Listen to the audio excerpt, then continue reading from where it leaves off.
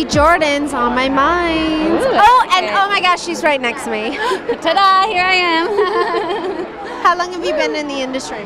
I have a weird story because um, here they want you to move this way.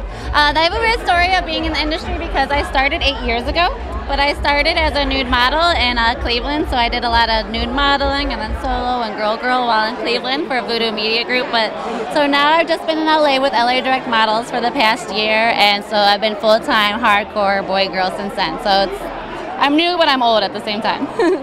I'm the same way. I like it. See, so it's a marathon for us, right? Yeah, yeah. it's not about how fast you do it. It's all about how many miles you go.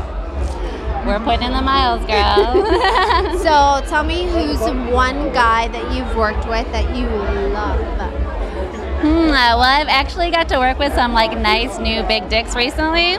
And I have to admit that, you know, I know it's a popular favorite, but Eric Everhard did give me a pretty good rough pounding how I like it. So that was a good one. I can't wait to work with him again. But all of them have been really awesome so far. Lucky for me. Nice. And then, do you have your own website?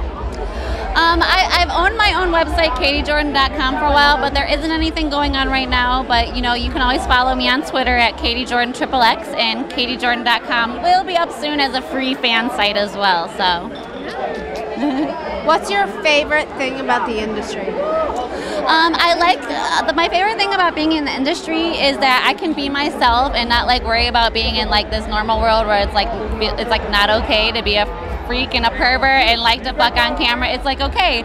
So I just like that I can be myself and have fun and, and be happy and be successful. So right now I am like loving it. So I love it. Tonight I've met so many different girls that love their job, love the industry, love sex, and you are another person who just loves what they're doing. So that's absolutely it's amazing. awesome that so many of us love it. That Nice. makes it worth it.